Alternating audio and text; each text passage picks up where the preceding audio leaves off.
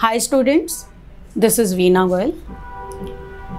Related to the programs availability and intake, now uh, you can get the mid-year intake that is May and after that the full-fledged intake you will get and more uh, choice of courses you will get in September for the fall intake.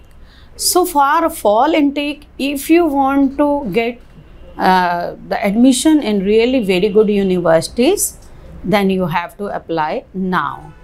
And for scholarship, if you want to get more and more scholarship, it should be applied, you know, as early as possible. Then only you can get uh, in good universities and with good scholarships. The uh, fee for the universities can be as low as $10,000 and can be as high as $40,000. It all depends how much scholarship you are getting and uh, what kind of institute you are selecting. If we talk about the courses, which course you should get, uh, you should select because you are going there to get the return on investment means you are investing your time, you are investing your money as well in the shape of fee and living expenses. Obviously, you are going for the uh, employment opportunity after the, after the course.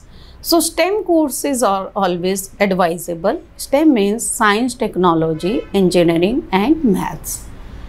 So, if we are doing more research on these courses, 78% of the students are selecting IT courses.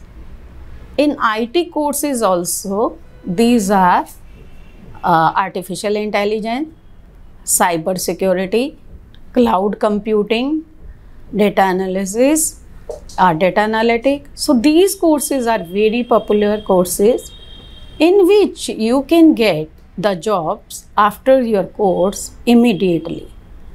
And the employment, uh, if I ask you about, you know, how much you will be paid, that can be closely on an average salary, if I am talking about 170 180,000 dollar in artificial intelligence or cyber security can be a good salary which is on an average salary. So intake already we talked about. Now the major intake will be September, but mid-year intake you can opt if a few uh, few universities are offering the mid-year intake as well. Now we are talking about the work opportunities. Uh, while you are studying, you are getting uh, some kind of you know uh, this um, work opportunity or not while studying.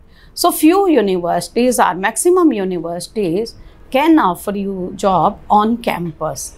So there can be lot of vacancies in campus also, can be in library, can be for the teaching to your uh, uh, junior students and so many uh, things which is available uh, in the campus. So I think a lot of information I shared with you. If you do have more questions, please subscribe our channel or you can WhatsApp or you can call directly on the number which is on the screen. Thank you so much.